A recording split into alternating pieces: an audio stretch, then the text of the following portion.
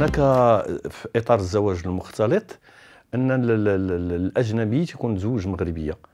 وعندما يقع الوفاه تقع الوفاة بالنسبة للطرف اللي هي الزوجة.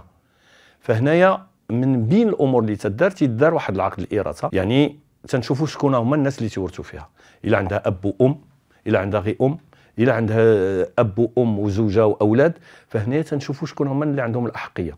يعني هذا بناء على يعني الفقه ديال المواريث. فهنا شنو تيوقع؟ تنشوفوا من بعد المرحلة الثانية املاك اللي خلى اللي تيسمى عقد تركه يعني متخلف ديال هذا الهالك. فحنا تنشوفوا بأنه ربما تخلي شقة تخلي آه، سيارة تخلي أراضي أراضي اللي تتكون في إطار داخل المدار الحضاري واللي في إطار القروي هذا تيوقع إشكال.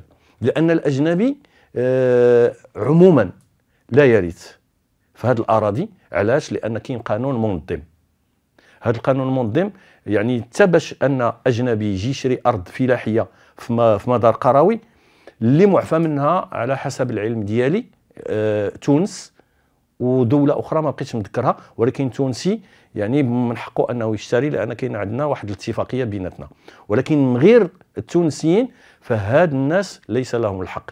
بمعنى أنه يحرم من أنه يملك عن طريق الإرث. في هذه المرحومة لسبب بسيط لأنه هو ليست له الأحقية سواء أجنبي أو أجنبية. بعض المرات يقدر يكون واحد المسطرة أنه تيتقدم بها هذا الأجنبي في إطار الشراء ويمكن نخضعوها حتى لاطار التركه أنه تيتقدم للوزارة ديال الداخلية والفلاحة باش أنهم يعطيوه هذا الحق باش أنه ممكن أنه يتملك.